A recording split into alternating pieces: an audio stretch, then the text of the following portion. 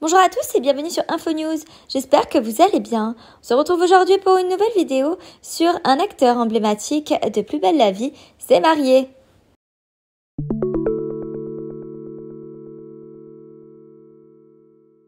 Carnet blanc pour cet ancien acteur emblématique de Plus belle la vie. Au cours du week-end, Nicolas Herman a dit oui à sa chère et tendre, une certaine Margot Lundberg-Rideng. Le couple s'est uni civilement dans une mairie de Paris et pour l'occasion, l'acteur avait dégainé le costume noir avec chemise blanche, tandis que sa moitié était ravissante dans une robe blanche courte. Fous amoureux, ils ont été captés en train de s'échanger de tendres baisers à la sortie de la cérémonie sous les applaudissements de tous leurs proches.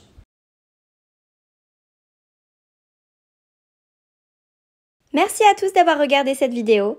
N'hésitez pas à la liker et à la commenter et abonnez-vous pour rester informé des prochaines actualités. À bientôt sur InfoNews.